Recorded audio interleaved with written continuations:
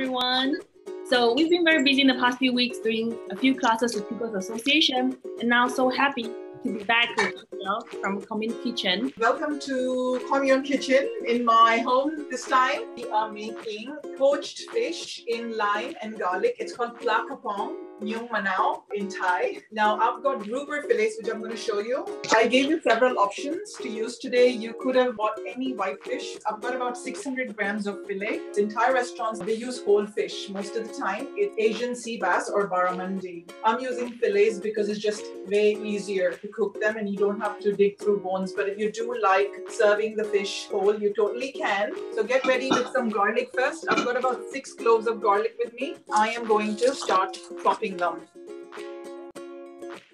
See how easily the peel comes off. If you've got your fish sitting in your fridge, take it out now because you want it not so cold. Do you need to marinate the fish in advance? No, there is absolutely no need to do anything to the fish. It needs to be poached directly as it is. Just make sure it's been cleaned, that's all.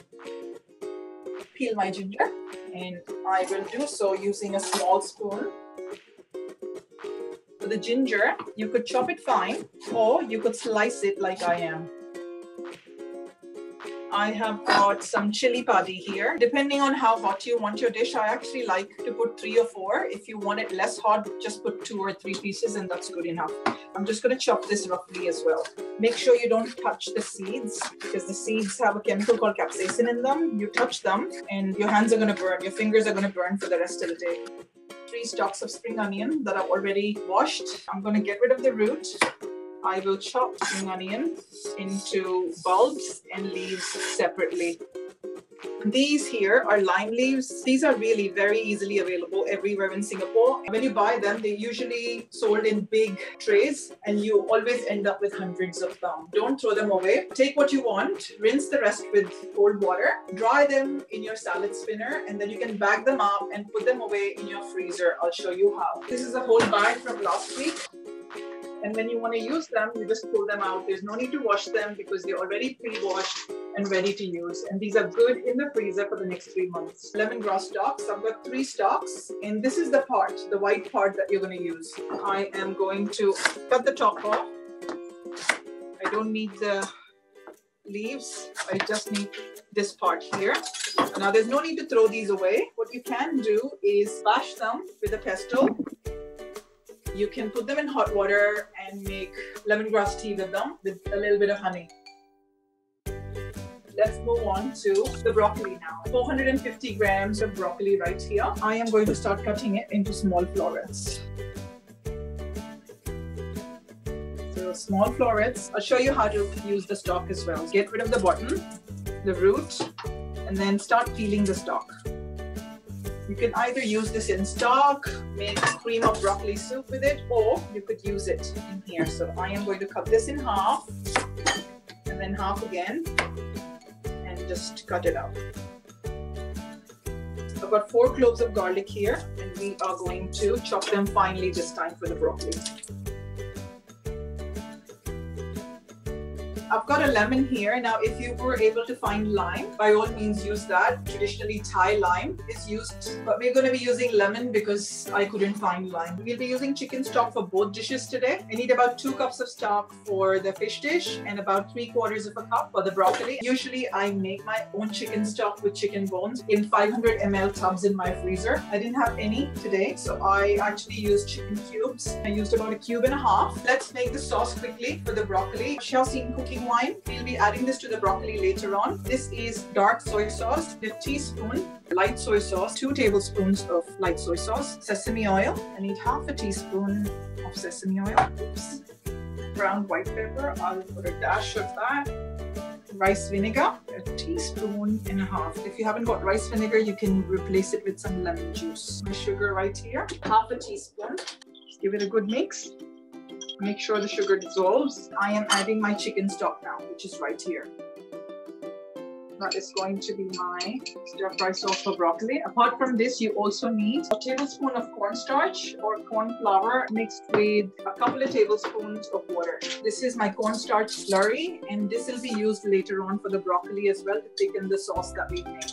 I'm going to be using my cast iron wok, which I got from Chinatown. This is the best investment I've ever made. It was only $15 always make sure you heat up your pan or your wok first and then add your oil because then your chances of disintegrating the oil are lower. A lot of people add the oil first and then they start heating it up. And you know, at times if you use an oil with a lower boiling point, it starts to smoke. I'm using coconut oil again because it's got a higher smoking point than olive oil. I use olive oil a lot more than I do coconut oil, but whenever I'm doing wok cooking, it's always always coconut oil. Just about a tablespoon tablespoon or two.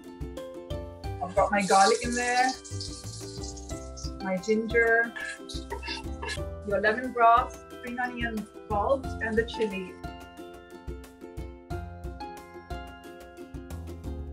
Increase the heat again, bring it to a boil. One more thing, which is not traditional in this dish, is turmeric. If you want to give your stock a beautiful yellow hue, you can actually add a little bit of turmeric at this point. If you've got turmeric at home, just put a pinch. Let it come to a boil. Fish is starting to change color.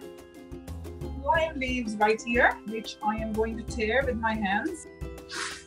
Now that it's come back to a boil, I'm going to put the lid on reduce the heat now and let this poach for about 10 minutes. It really depends on the thickness of your fish. Mine is quite thick, so I'm going to give it a good 10 minutes to poach. But if your slices of fish are thinner, you may need 7 to 8 minutes. If they are thicker, then about 12 minutes. If you're using a whole fish, it'll take longer than fish fillet. Depending on the thickness of the fish, they can take up to 15 to 17 minutes. Just to roll my lemon. This will ensure it gets nice and juicy use half of my lemon first. If I need more, I'll take another quarter. If you've got a lime, use a whole lime.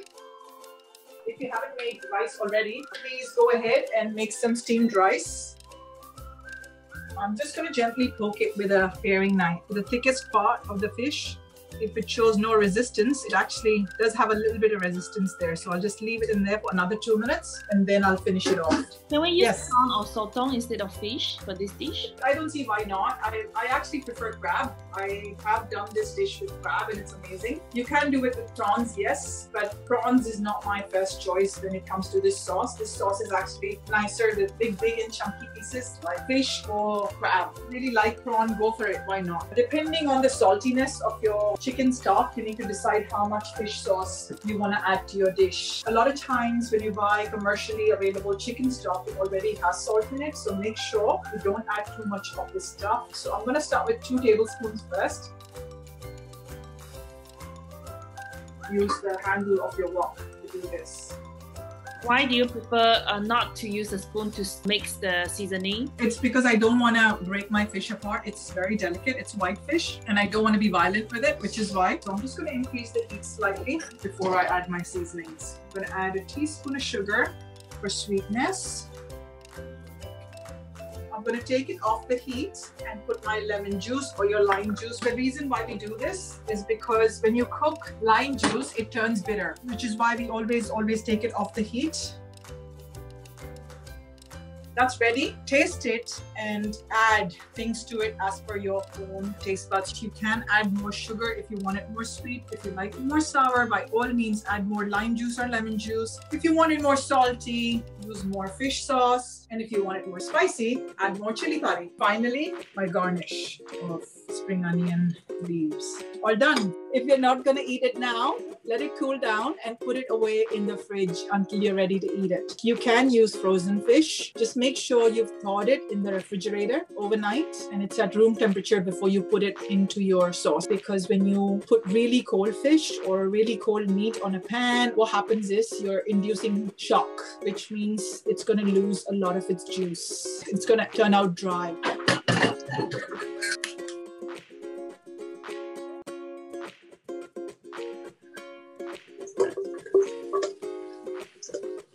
My heat is on high.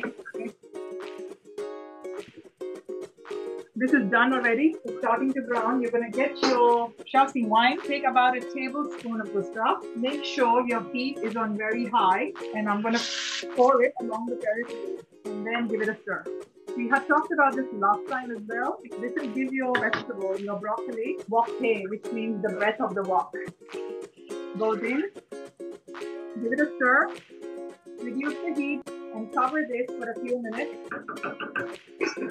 I'll give it about four to five minutes for the broccoli to cook a little bit. Someone's asking why do we need to add vinegar? You add vinegar because vinegar is acid, and acid actually brings out the flavor in food, which is why in a lot of Chinese food they often add rice vinegar.